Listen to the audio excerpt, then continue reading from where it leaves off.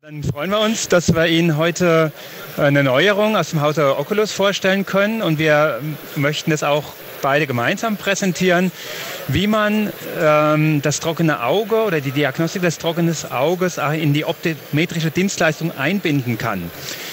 Vielleicht mal historisch betrachtet, welche Rolle übernehmen wir denn eigentlich bei dem Thema gutes Sehen? Es ist tatsächlich so, dass wir als Augenoptiker äh, bei dem Verbraucher längst anerkannt sind als Spezialisten für gutes Sehen. Und das bedeutet nicht nur, dass wir gute Brillen und Kontaktlinsen anpassen oder schöne Brillen verkaufen. Gutes Sehen hängt auch maßgeblich mit dem Tränenfilm zusammen. Darüber möchten wir heute sprechen. Aber auch, wie man damit in der Dienstleistung umgeht.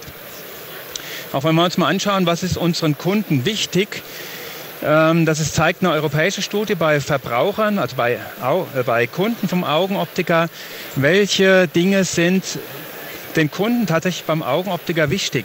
Und da sieht man deutlich, dass es nicht nur das Thema niedriger Preis ist, das würde hier mit 16 Prozent nur anschlagen, das ist das Thema auf jeden Fall, wofür wir Spezialisten sind, klare, scharfe Sicht, aber an zweithäufigster Stelle das Thema Gesundheit. Und es ist tatsächlich auch so, dass viele Kunden heute den Augenoptiker aufsuchen als erster Anlaufpunkt für gutes Sehen, auch im Thema Gesundheit. Und da greift schon zum gewissen Teil das Thema trockenes Auge mit rein. Ja, trockenes Auge, wie häufig kommt es vor? Wir haben Ihnen mal ein paar Zahlen mitgebracht. Prävalenzen. Äh, bei den Augenärzten ist schon eine ältere Studie. Da heißt es, jeder ähm, vierte bzw. fünfte Patient, der eine Augenarztpraxis aufsucht, kommt wegen Problemen mit dem trockenen Auge. Also nicht direkt mit dem Thema, ich habe trockene Augen, sondern mit Beschwerden, die daher rühren oder auch Entzündungen, die daher rühren. Wir wissen aus dem Kontaktlinsenbereich von GfK, das ist eine große Gesellschaft für Konsumforschung, Studien, dass auch etwa 30 Prozent unserer Linsenträger Probleme mit trockenem Auge haben. Also durchaus ein großes Potenzial aus den beiden Bereichen. Aber was ganz stark greift, ist natürlich die Arbeit am Bildschirmarbeitsplatz. Auch hier äh, wird in verschiedenen Studien gezeigt, dass das trockene Auge da maßgeblich zu Problemen führt. Auch hier mal eine Studie aus dem nicht augenoptischen Bereich, war eine MNIT-Studie rausgesucht, die Ihnen zeigt, wie trockene Augen, wie stark die da vertreten sind mit anderen Problemen, Handgelenke, Schmerzen, Halswirbelsäule wird hier an erster Stelle genannt, zusammen mit den Augen leiden. Also das ist tatsächlich auch so, dass wir am Bildschirmarbeitsplatz das trockene Auge nicht vergessen sollten. Ja, wie ist das jetzt beim Augenoptiker? Wie viele Kunden, die uns besuchen wegen einer neuen Brille, wegen einer Refraktion, haben ein trockenes Auge? Auch hierzu möchte ich Ihnen eine neue Erhebung zeigen, die wir in einem hochfrequentierten Geschäft mal als Bachelorarbeit erhoben haben. Da war die Aufgabe an die Studentin, ähm, alle Kunden oder äh, randomisiert ausgewählte Kunden mal aus zu fragen, ob sie vor einer Refraktion sich mal einer Augenuntersuchung oder ein Tränenfilm-Screening unterziehen würden. Und da kam auch raus, dass etwa 30 Prozent der Kunden, die ganz regulär zu uns kommen für eine Refraktion, Probleme mit dem trockenen Auge haben. Also es ist also nicht so, dass die bei uns als Augenoptiker gar nie aufschlagen, wie man vielleicht denkt, weil die zum Augenarzt gehen. Was machen wir in der Regel? Eine Visusbestimmung und bei unseren tollen Visustafeln, die wir haben, Vollkontrast, kann man natürlich die realen Sehbedingungen gar nicht nachempfinden. Da ist die Forderung ja auch, dass man Kontrastteste, Reality-Sehteste mit ein pflegt. Das ist ja hier im Hause Oculus mit dem Wizard sehr schön gelungen. Auch mal eine Blendquelle mit einschaltet, was Sie hier im untersten Bild sehen. Auch da kann man teilweise Tränenfilmprobleme mit absehen. Besser ist natürlich, wenn man vor einer Refraktion, wenn man Verdacht hat, zumindest ein Kurzscreening mit trockenen Augen anstrebt. Und da haben wir ein neues Modul dazu erstellt, was wir Ihnen gleich mal vorstellen möchten. Ein paar wissenschaftliche Daten, vielleicht noch ganz kurz, erlauben Sie mal das. Wie hat ähm, der Tränenfilm, was, was hat es mit guten Sehen zu tun? Gibt es verschiedene Studien von uns, aber auch von anderen Autoren. Ich habe Ihnen hier mal eine mitgebracht. Das sind aberometrische Messungen von gesunden Auge, kurz nach dem Lidschlag, nach vier, nach sechs, nach acht Sekunden. Da ändert sich nichts, aber da, da ändert sich nichts an der Refraktion. Ich muss gerade nochmal zurück. Wenn Sie schon so einen Kunden haben mit marginaltrockenem Auge, da sehen Sie, dass nach sechs, acht Sekunden die Farben zeigen ja auf Abbildungsfehler, die da entstehen, dass die tatsächlich ähm, messbar anders sind und beim richtig trockenen Auge schon bereits nach zwei Sekunden. Also die Refraktion ändert sich auch beim trockenen Auge. Ist also auch wichtig, wenn wer jemand Abarometermessungen macht, dass Sie davor mal gucken, ist das vielleicht jemand mit trockenem Auge, wann löse ich die Messung aus, ein paar Mal blinzeln, sollte ich vor der Messung generell prophylaktisch einen Nachbenetzer geben auf höhere Lohnsäurebasis, einen ganz einfachen vielleicht, um die Messung besser zu steuern. Und das bringt uns eigentlich zu dem Thema, wie machen wir das als Augenoptiker bei unseren Kunden. Das habe ich mal so Kundenreise mal probiert zu äh, skizzieren, also eine Zeitreihe. Wir haben hier zum Eingang die Begrüßung, Beratung, Bedarfsanalyse oder Sie können es auch Anamnese nennen, wobei wir haben ja nicht mit Kranken zu tun. Anamnese ist eigentlich eine Krankengeschichte. Aber wir erfahren doch sehr viel über unsere Kunden. Wo und wann wollen sie korrigiert werden? Wie sind die Lesebedingungen? Wie sind die Beleuchtungsbedingungen? Vielleicht kriegen Sie da schon Hinweise auf trockenes Auge. Dann kommen die Augenuntersuchungen. Vielleicht haben Sie ein Autorefraktometer, ein Abarometer. Wenn Sie da sorgsam die Ringstrukturen angucken, erkennen Sie es auch schon ein bisschen. Und unser Ansatz ist jetzt eigentlich, vor jeder einer solchen Dienstleistung auch mal einen Tränenfilmtest, einen Screening-Test, einen schnellen mit anzuschließen. Und dann, je nachdem, was der Kunde möchte, bietet man Brillen, Kontaktlinsen an in der Abgabe äh, kann man dann auch noch mal ein bisschen auf die Beratung eingehen. Aber wichtig auch die Nachbetreuung, wenn der Kunde kommt, hat vielleicht noch Probleme, dass man da ein paar Dinge einfließen lässt. Und jetzt habe ich, weiß ich von Claudio Jäger, dass ihr das Thema äh, Beratung und Dienstleistung ganz stark fahrt und auch ähm, diese Prozesse längst schon einbezogen hat. Vielleicht kannst du mal die Teilnehmer mit einbeziehen, wie ihr das angeht bei euch im Optikgeschäft. Gerne. Sie sehen hier das Geschäft, wo ich arbeite. Wir sind auf drei Etagen. Im Erdgeschoss Ladenfläche, erstes OG die optometrische Abteilung und im zweiten OG bieten wir auch noch Visualtraining an. Also Sie sehen, die, die, die Dienstleistung hat bei uns einen sehr hohen Stellenwert. Dann, wie Herr Sickenberger schon gesagt hat, äh, ich finde, bei jeder Refraktion gehört auch der Tränenfilm mit ins Boot, der muss angeschaut werden. Und das kann man jetzt neu mit so einem Kurzscreening mit dem Gerät perfekt einbinden. Und wenn da Auffälligkeiten sind, kann man perfekt überleiten in eine vertiefte Tränenfilmanalyse.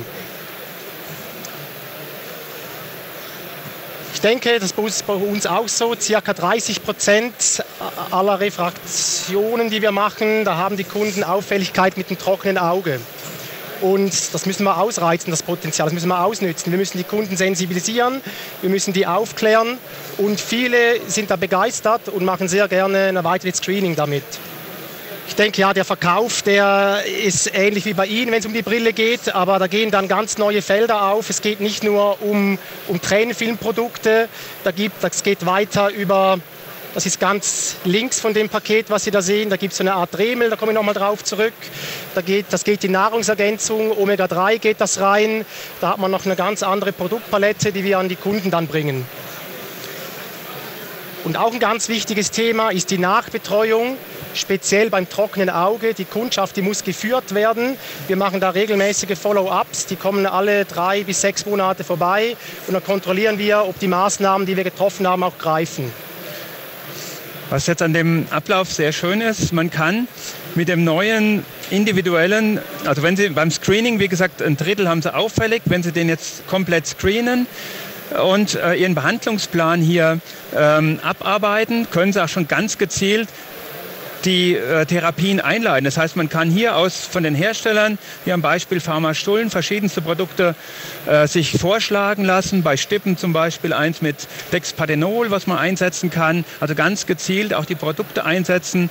Oder im Bereich Lidhandhygiene, wo wir Ihnen dann auch mal ein paar Fälle mitgebracht haben, wie man damit direkt umgeht, kann man also ganz gezielt die Behandlungspläne schon im Keratograph sich anzeigen lassen und auch vorschlagen lassen, was da passt und Kunden erklären. Was jetzt vielleicht nochmal neu ist an dem Ganzen ist das Thema, wenn wir das Jenvis Pro mal angucken. Wir hatten ja bereits den äh, TF-Report. Da ging es eigentlich darum, mit den minimal sechs Testen ein gutes Bild über einen Tränenfilm zu bekommen. Aber ich glaube, in unserem normalen Geschäft beim Augenoptiker ist es wichtig, dass Sie auch einen Kurz-Screening-Test davor schalten, der zur Refraktion gehört. Der hat also noch nichts in dem Paket Tränenfilm zu suchen. Dann würde ich da immer ins Refraktionspaket mit als Dienstleistung bezahlen lassen. Dauert nur fünf Minuten, vierteilig. Wenn der anschlägt, können Sie sich selbst einen individuellen Tränenfilm ähm, äh, Testbatterie vorstellen. Die stellen wir Ihnen auch, zeigen wir Ihnen gleich nochmal, was das aussieht. Und wie Claudio Jäger schon sagte, in einer Nachkontrolle dann auch nur spezielle Tests auswählen.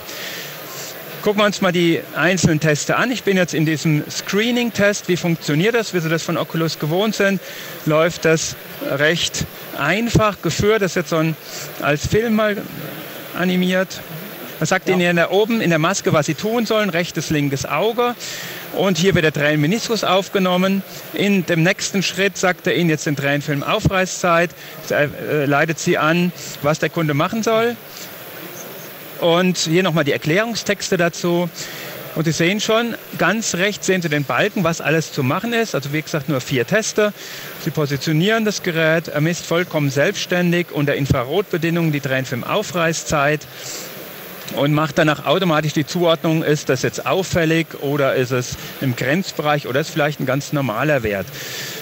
Und dann im letzten Bereich äh, wird der Rötungsgrad des Auges automatisch vermessen und wird am Schluss noch mal ein Kurzfragebogen abgefragt, den wir neu gemacht haben. Vielleicht kennen Sie diese Try-Eye-Questionnaires, die sind ja alles sehr kompliziert. Die amerikanischen, die passen für einen Optometristen, für eine Arztpraxis, für einen Augenoptiker nicht so. Wir haben einen neuen gemacht ähm, der wirklich nur die wichtigsten Fragen abgreift und eine recht einfache und schnelle Zuordnung macht, ist das Auge subjektiv trocken oder nicht.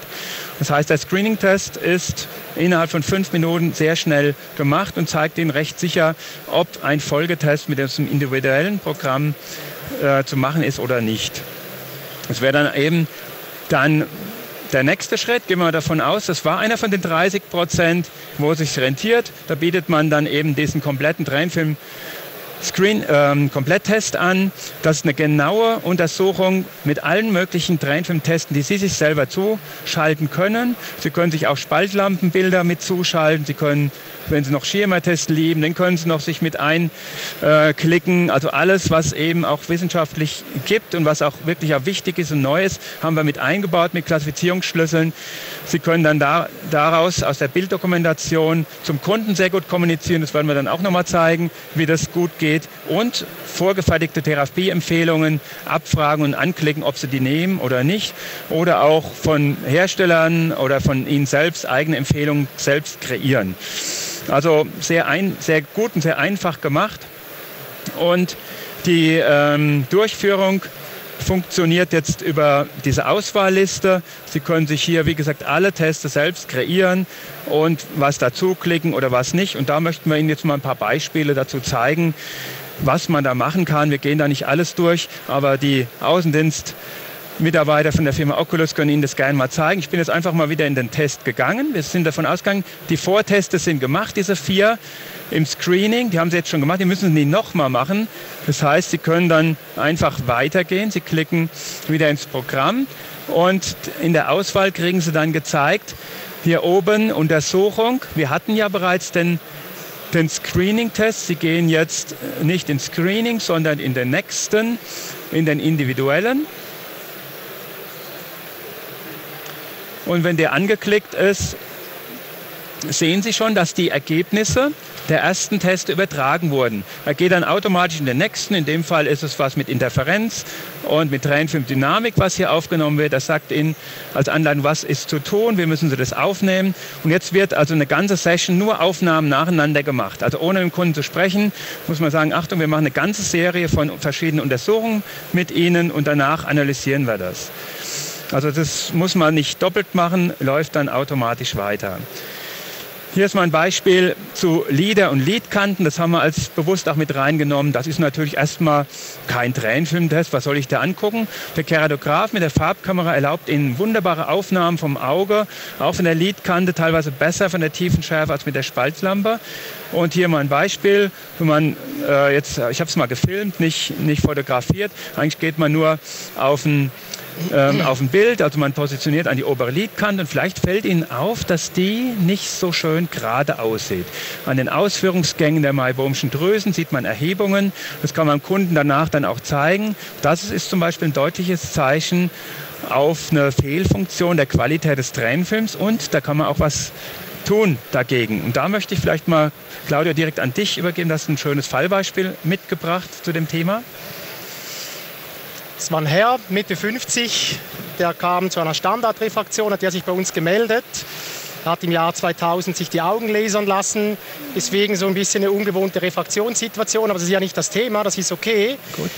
Äh, innerhalb von der Anamnese hat er keine Auffälligkeiten auf Zika-Symptomatik. Er muss keine Medikamente nehmen, hat keine Haut- oder systemische Erkrankungen. Aus dem Smalltalk raus hat er erzählt, er hat vier Hunde. Und dann habe ich mal so an Demodex gedacht. Das sind die Haarbalgmilben, die Hunde häufig haben und Menschen auch häufig haben können. Dann habe ich die Standardrefraktion durchgezogen und da gehört auch eine Spaltlampeninspektion dazu. Und ähm, dann habe ich Folgendes gesehen.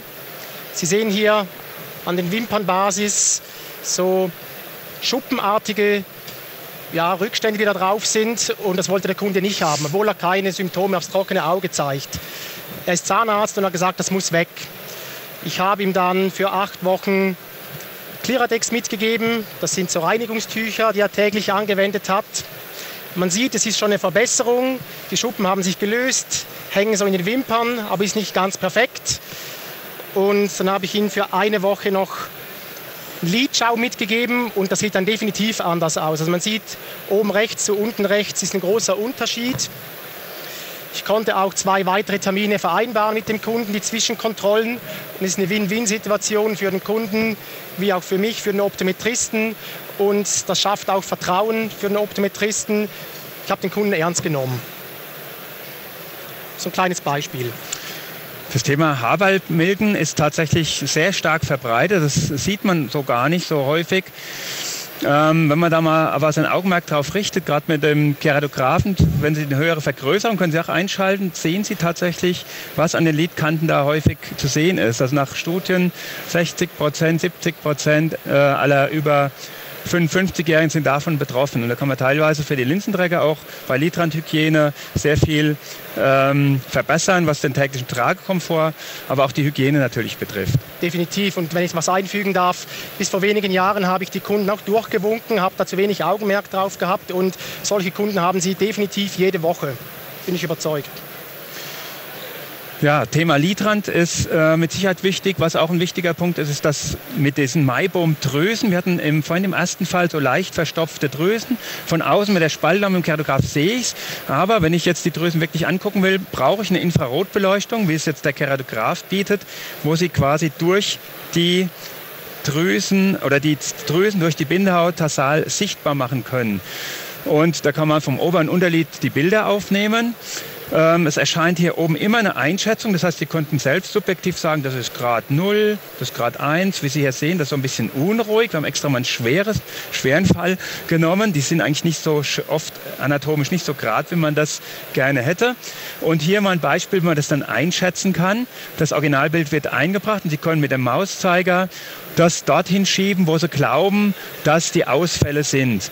Und der Keratograph überträgt dann diese Schiebereglereinstellung direkt als Graduierung in das System.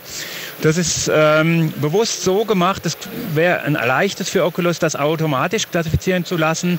Aber man muss es wirklich, weil die Drüsen so unterschiedlich sind, besser per Hand tun. Das muss ein, ein Kliniker machen, das kann die Maschine alleine nicht. Das sind zu viel Fehlinterpretationen, wenn man das einem Automaten überlässt. Insofern ist das jetzt auch eine geschickte Möglichkeit, wie Sie da vergleichen können, in welchem Grad bewegt sich diese Maibaum-Drüsen-Dysfunktion. Ja, wenn dann alle Bewertungen durch sind, wie gesagt, wir haben nur einen Ausschnitt gezeigt. Das sind hier ist, die, ist diese Workliste, wie man das so schön sagt. Hier sehen Sie alle Bilder, alle Aufnahmen, die gemacht sind. Ähm, kann man dann nochmal hier unten die Behandlungsempfehlungen, kann man sich selber generieren. Wir haben aber auch ein paar eigene mit reingenommen, haben dann noch Empfehlungen, wenn Sie Stippen sehen, dann ist das Präparat gut, wenn Sie Lidrand ähm, Kolaretten oder was sehen, dann Lidrandhygiene. Also es sind auch Therapieempfehlungen mit vorgefertigt, dass man sich das nicht immer überlegen muss. Das ist ein sehr, sehr weites Feld. So von einmal zuhören, eine Einweisung am Gerät. Es ist nicht getan. Thema Tränenfilm ist leider sehr vielschichtig. Firma Oculus bietet dazu auch Seminare an, wenn man da einsteigen will. Ich glaube, du hast auch eine Weile gebraucht, bis du dir die ganzen neuen Dinge ähm, an, aneignen konntest. Wir lernen da auch wirklich auch von jeder Tagung was Neues dazu oder von unseren eigenen Studien. Und äh, da gibt es sich ständig eben gibt's neue Dinge. Hier möchte ich Ihnen noch so was zum Abschluss vorstellen ähm, wie man dann Kunden kommunizieren kann. Wir haben auch lange überlegt mit Anwendern wie dem Claudio Jäger, wie macht man dann mit dem Kunden die Kommunikation, dass er das auch alles versteht. Es ist so wichtig, dass wir auch über das sprechen, was wir messen und dann jetzt nicht wegschicken und sagen, das und das haben Sie. Und ähm, da ist es hier so gelöst bei Oculus, dass Sie von allen Messungen, die Sie haben, jetzt hier von den vier ausgewählten, kann man am Schluss bei der Analyse das dem Kunden nochmal zeigen als Art Collage, Bildercollage mit den Videos und kann dann hier wunderbar mit dem Kunden drüber sprechen. Wie macht ihr das bei euch im Geschäft? Ja, ich bin froh, dass es jetzt so entstanden ist. Bei der Vorgängerversion war das ein bisschen umständlicher, es ging auch, musste immer so rein rausgehen. Und so ist es super elegant. Ich kann aufs entsprechende Bild klicken, das wird dann groß und dann kann ich dem Kunden alles genau erklären. Und ich spare so auch Zeit, weil ich da nicht zig Klicks machen muss mit der Maus. Also wir haben auch, wir haben die Testversion natürlich jetzt auch an Kunden getestet. Das kommt sehr, sehr gut an, wenn Sie dann in einem, in einem Collagebild mal alles zeigen. Und das ist das Mengenproblem, hier haben wir ein Qualitätsproblem, hier an der Leadkante müssen Sie das und das tun. Das steigert die Mitarbeit vom Träger, dass er es wirklich auch tut, was Sie empfehlen und macht natürlich die Dienstleistung sehr transparent.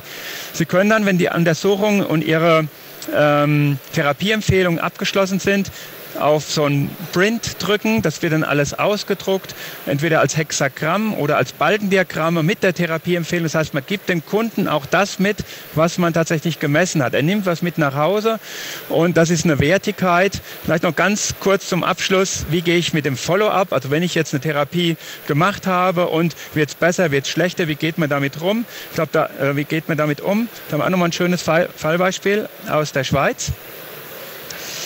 Ja, ein Herr Mitte 40 äh, kam zur Routine-Kontaktlinsenkontrolle, hat eigentlich keine Probleme mit seinen formstabilen Kontaktlinsen, ähm, sieht in die Ferne wie in die Nähe eigentlich einwandfrei. Sie sehen noch, was für eine Linse er trägt. Auch hier gesundheitlich alles unbedenklich.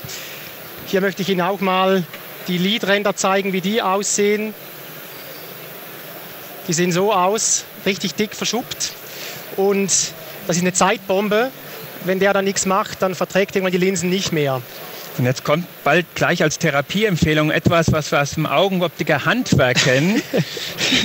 genau, also wir bei uns, wir gehen, wir machen wie so, also man muss die Lider reinigen, ganz klar. Damit er das, das eine bessere Basis hat, gibt es da so ein Gerät, das sieht dann so aus, wie so eine elektrische Zahnbürste oder wie ein Dremel. Da kommt vorne so ein Tipp drauf und dann macht man wirklich mechanisch, reinigt man die Lidränder und die Wimpern. Das ist kein Thema, das können Sie alle auch, ist für den Kunden auch nicht sonderlich unangenehm.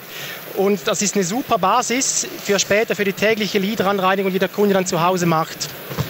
Und das kann man mit dem Gerät auch sehr gut darstellen in der Follow-up-Version. Sie sehen die vier Bilder nochmals, oben vor der Behandlung und unten nach der Behandlung und ist eindrücklich für den Kunden, wenn er das so sieht und der ist top motiviert für die tägliche Lidrandreinigung. Ja, damit haben wir mal die drei neuen Bereiche beleuchtet. Ich denke, man kann die wirklich in, sowohl hier vorne in dieser Begrüßung, Beratung, vor einer Refraktion mit einbeziehen, als professionelle Dry-Eye-Klinik kann man es einbeziehen und hier hinten in der Nachbetreuung natürlich, wie wir eben gesehen haben, auch. Was ist da passiert? Ähm, Gab es eine Verbesserung? Müssen wir nochmal eine Therapieempfehlung verändern? Ich denke, ein ganz wichtiger Punkt für die Zukunft, Wichtig ist, glaube ich, dass man die Instrumente dazu hat, dass man es genau untersuchen kann und in den normalen Kundenprozess beim Augenoptiker einbinden kann. Und das ist, denke ich, gelungen durch die drei neuen Bausteine, diesen Screening-Test, ganz normal in einer jeden Standardrefraktion, für, einen, für Sie individuell zusammenstellbar mit allen Extras, die so gibt, die auch den Claudio Jäger in der Schweiz zufriedenstellen und einen Farnkrauttest beispielsweise ermöglichen, wollte er auch haben oder nicht unbedingt, wir haben eingebaut und auch in der Nachkontrolle. Insofern ähm, mit diesen neuen Äh, Jenvis Pro, denke ich, könnte das Thema optometrische Dienstleistung massiv ausbauen. Und das ist auch der Weg, wie ihr ihn geht in, in der Schweiz. Und ich denke, wenn man hier sich auf den Ständen umguckt, Dienstleistung, das, was wir tun, ist viel wert. Das sollten sich auch bezahlen lassen.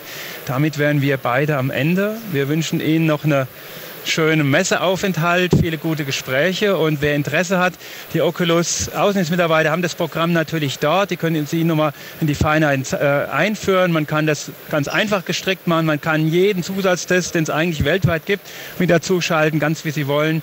Ich denke, das ist sehr passgenau auf die Bedürfnisse vom Augenoptiker gebaut und damit möchte ich Sie entlassen und wir stehen natürlich auch sehr gerne für Fragen zur Verfügung. Vielen Dank.